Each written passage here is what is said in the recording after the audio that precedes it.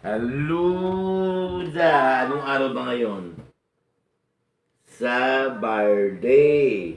Oh, so, Bukas ay Sunday kaya walang pasok. ngayon din, wala din. Oh, ang oras, anong oras na? Oras ba ay... Malapit ng mag-12. Yun na nga sabihin mo, no? Actually, 11.40. So, it's nearing 12 at oras na para Kumain. kumain. O, sige, pakilala na agad. Ako po yung Dandahan. Welcome to my YouTube channel sa ating Friday.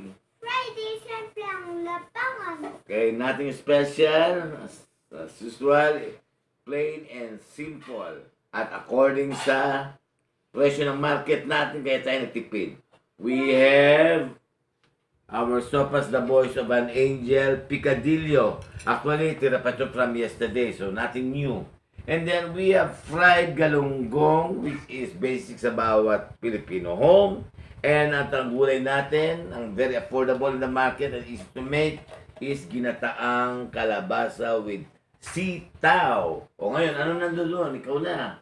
Ah, cook rice Okay? and Ang dessert? dessert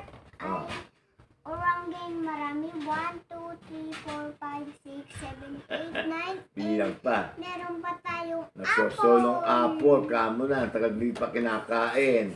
Okay, with that, imbitahin mo na sila agad. Kaya na po po na po mo dyan sa mga tayo bago kumain. Correct. And hope to see you again tomorrow, Sunday. So we're expecting something more special.